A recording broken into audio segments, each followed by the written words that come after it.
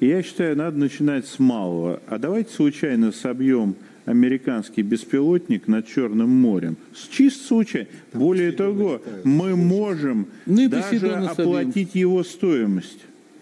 Ну, сказать, извините, ребят, сколько он там у вас стоимость Готовы. остаточь, э, так сказать, по амортизации?